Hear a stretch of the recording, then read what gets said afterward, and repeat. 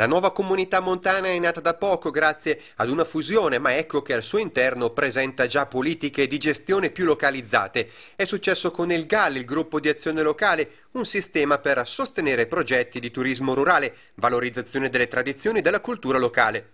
Ieri sera con l'Assemblea della Comunità Montana della Valle Seriana è stato costituito il GAL della Valle Seriana Superiore, dove sono confluiti i 20 comuni del vecchio ente sovracomunale. Il territorio dell'ex Comunità Montana più a valle è stato invece diviso in due. Sei comuni, Selvino, Viatico, Gazzaniga, Vertova, Colzate e Fiorano al Serio, sono confluiti con il GAL della Valle Brembana, mediante anche la sottoscrizione di aumento di capitale sociale. I restanti sono ora interessati dal GAL del Monte Bronzone e Valle Cavallina. Il territorio risulta così interessato da tre GAL, ognuno dei quali sarà in grado di avanzare progetti per richiedere finanziamenti.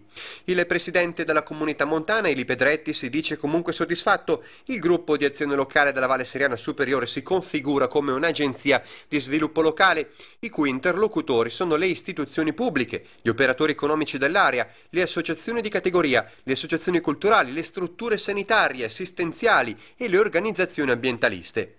Il programma è orientato al miglioramento della qualità della vita ed affrontare progetti di intervento sul territorio dell'area montana.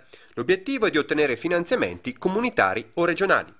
Insieme alla comunità montana ci sono otto soci privati, col diretti, Agrifidi, Consorzio Forestale Presolana, Conf Cooperative, Iris Impianti di Risalita, Astra Albergatori, Banca di Credito Cooperativo Valle Seriana e Banca Popolare di Bergamo, che detengono il 50,01%.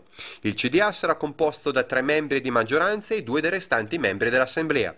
È sicuramente un modo intelligente per migliorare la qualità della vita in Alta Valle nei comuni che sono stati inseriti nei progetti, conclude il presidente Eli Pedretti. Oggi è fondamentale aderire a questi gali insieme a questi solidi e credibili soggetti privati per poter accedere ad importanti finanziamenti comunitari e regionali.